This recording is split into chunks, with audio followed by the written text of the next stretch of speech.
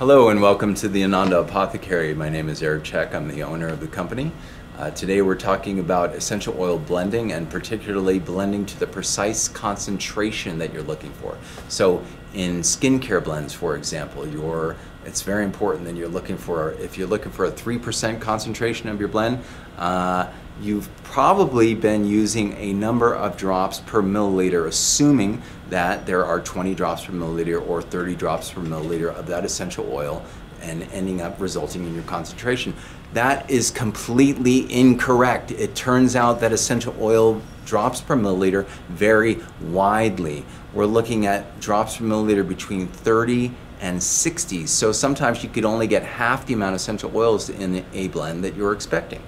Uh, so at the Ananda Apothecary, we had been looking up, trying to find um, how many drops per milliliter are there of essential oils. And there was no figure on the internet.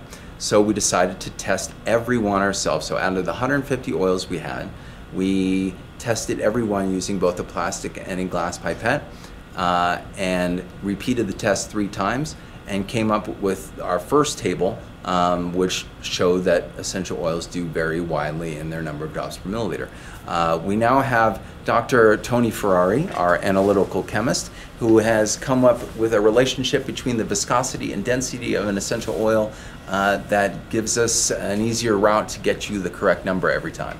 So yeah, so what we did was we standardized the old methods of testing each oil. We did that 10 times per oil with um, a volumetric um, milliliter flask that was very precise. So that was how we got our first numbers. So with that set of data, we thought to relate it to what we're actually seeing, which is thicker oils give bigger drops.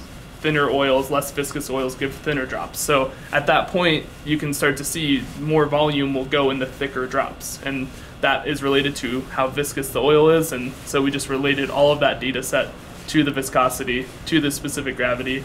And now we can predict um, from batch to batch how something's drops per mill value will change from year to year, from oil to oil. So.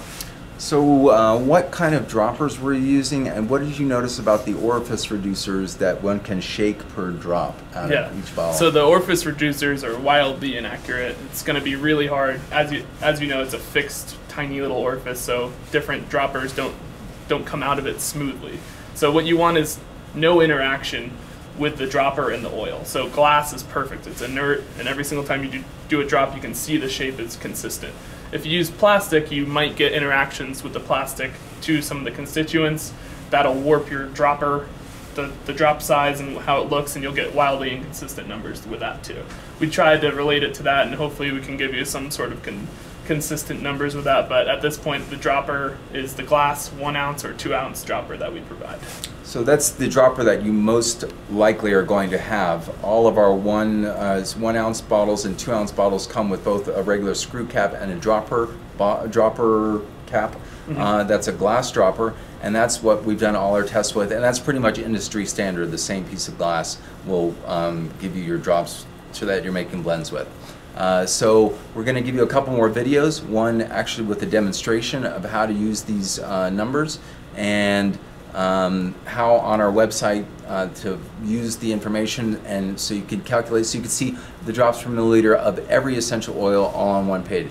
Um, so on every page, for example, uh, we're looking at German chamomile. If we go to the German chamomile page, you'll see right to the right, there's a number of drops per milliliter. Right under that, it says blending tips. This is going to explain everything as to how to get this your blend concentration exactly right. German chamomile is one of those oils that you should only have 1% concentration of uh, oil in the whole blend. And we're going to tell you how to get that number precise. Um, yeah, and it's also just about the relationship with the other oil too. So if you're using lavender and German chamomile, these are not one to one drops per mil like before. You would assume if they're all 30 that it's an equal concentration. But if you're using German cam and lavender, you're going to be getting about half of the concentration of your lavender per every regular concentration of German cam, and you're just going to be drifting your blend towards a really heavy German chamomile blend when maybe you wanted more lavender in that blend. So. So stay tuned, and we're going to tell you how to start blending correctly every time. Thanks for listening.